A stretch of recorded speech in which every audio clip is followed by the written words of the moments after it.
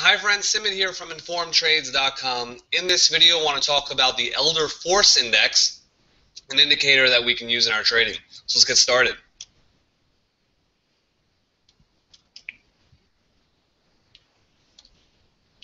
Okay, key points. The indicator was developed by Alexander Elder a famous trader we've talked about him a fair amount on Informed Trades. He's the author of the book Trading for a Living, as well as a number of other books. Trading for a Living is probably his most famous. The math behind the indicator is to take the latest close price, subtract from it the previous close price, and multiply that number by today's volume, or the most recent volume. So really, it's a supply-demand indicator. It's a way of gauging the amount of strength behind a move. So if there's a big move in price on a lot of volume, it's really going to show up on the force index. Um, we, when it comes to actually applying it, what we want to do is apply an exponential moving average to that uh, mathematical formula. We'll look at the 2 EMA and the 13 EMA.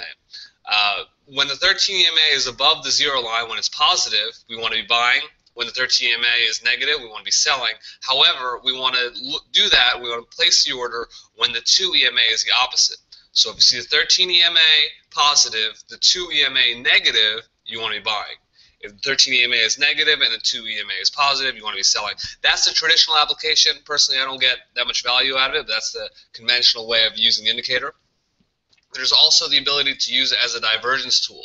So when you see price forming a new high, but force index does not, or price forming a new low, but force index does not, it can be a sign that a trend is uh, coming to its conclusion. Let's take a look at a chart. This is a chart of SPY ETF tracking the S&P 500. Uh, it's an hourly chart here, and we see uh, EFI is set to a period of 13. So when this uh, is above the zero line, the zero line is this dashed gray line here, that's when we want to be buying. We're in the buying uh, area. When it's below the line, we want to be looking to sell. Um, however, as I mentioned, we want to be look at the 2 EMA as well. So we just go here, make that 2. Okay, and so here what we really want to do is when we're above the zero line, we want to look to sell if the 13 EMA is below and we want to look to buy here if the 13 EMA is above. Personally, I haven't found this to be very useful. I found uh, not that many signals looking at the 2 and the 13 EMA, looking for that uh, difference, you know, fade the 2 in the direction of 13. And even when it has given me a signal, I haven't found them to be that valid. Um, so I personally don't like this that much. However, you know, it depends on, I'm sure, what market, what time frame, what other indicators or tools you're using.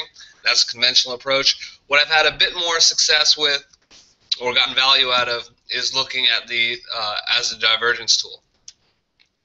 Um, so here's an example. You know, price. Uh, we see this big move up here, and we see it on a lot of volume, which is going to send the EFI exploding higher.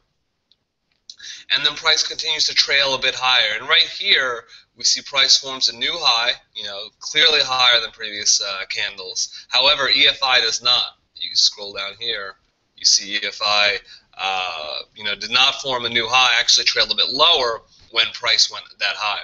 So that's a sign of divergence. That's a sign the trend may be coming to an end. Confirming that is we have a red candle here. So not only was do we have divergence after a new high, but the can candle did not even close bullish. Uh, so that's some signs that the trend may be coming to an end. You know, you could uh, either take profits or you could put on a short position if you were a little more aggressive, perhaps looking at some other indicators to confirm. Uh, and sure enough, price price falls.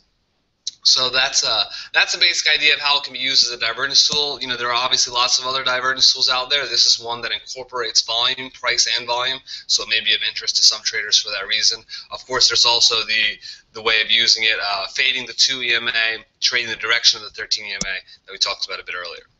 If you have any questions, anything you want to add about the Force Index, join us on informedtrades.com. Thanks and best of luck in your trading.